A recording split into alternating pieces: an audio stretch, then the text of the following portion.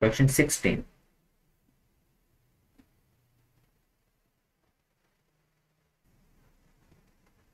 Maria plans to rent a boat. The boat rental costs $60 per hour. And she will also have to pay for a water safety course that costs $10. Maria wants to spend no more than $280 for the rental and the course. If the boat rental is available only for a whole number of hours, what is the maximum number of hours for which Maria can rent the boat? So, $60 per hour. It's the slope actually. So if you write it, y is equal to mx plus c. So you will see that $60 per hour is the slope for x number of hours. And c is the amount you have to pay initially. Okay, so we will say the total cost is equal to 60 times hours plus $10. And according to the question, this cost should not be more than $280. So 60x plus 10 should not be more than 280. 60x plus 10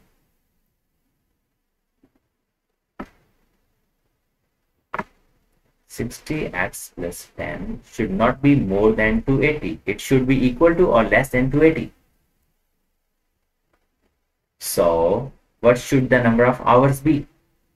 So subtract 10 from both sides, that gives us 270 and divide by 10 from both sides, that will give us 6x less than equal to 27.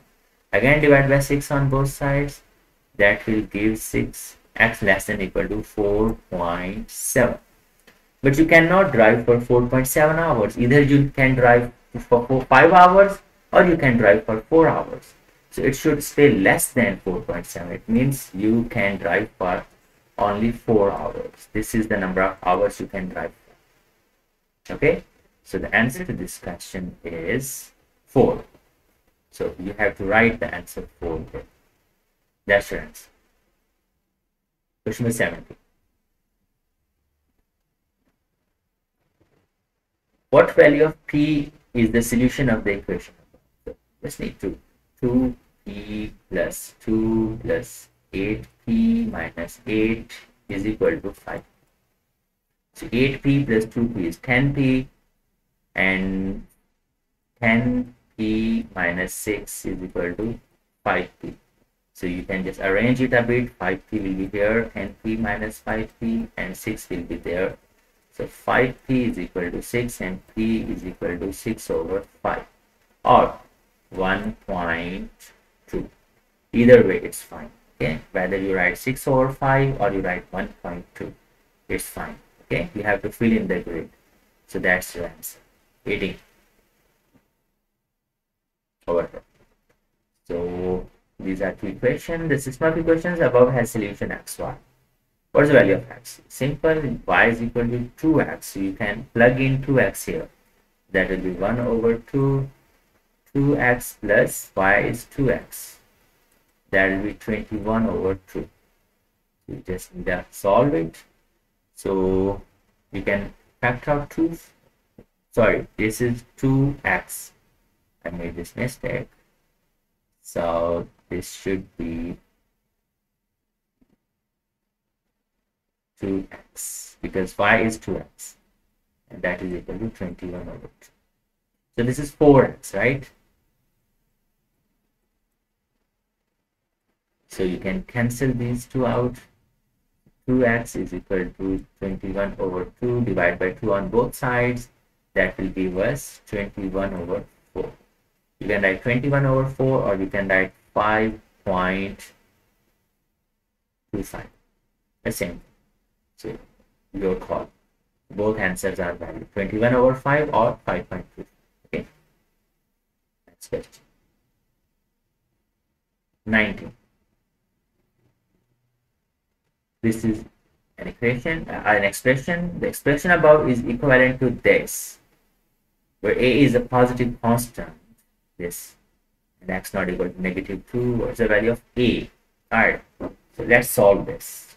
2x plus 6 over x plus 2 whole square minus 2 divided by x plus 2.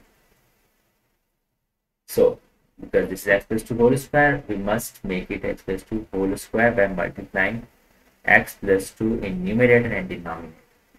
Now, this whole thing is equal to this. A over x plus 2 whole square. So, the LCM is x plus 2 whole square. And we can write 2x plus 6 minus 2x and minus 4 so that's a over x plus 2 whole square so 2x and 2x can cancel 6 minus 4 is 2 so a is actually 2 if you want to write it again in the next step fine but 2 over x plus 2 whole square is equal to a over x plus 2 whole square. So A is in fact 2. So that's your answer. 2 is your answer. Okay. Intersecting lines R, S and T are shown below. T was the value of x. Alright, we need to find this. So these two angles are flat angles, supplementary angles, 180 degrees. So if this is 106, this must be 180 minus 106 that is 74 so this angle here is 74 and this angle x is the sum of these two remote angles internal remote angles. That's the thing we have studied in angles and triangles okay? So this is the sum of 74 degrees and 23 degrees. 74 plus 23 is 97 so this x is 97 degrees. So you don't need to write degree there, you just need to write 97. Okay, that's your answer.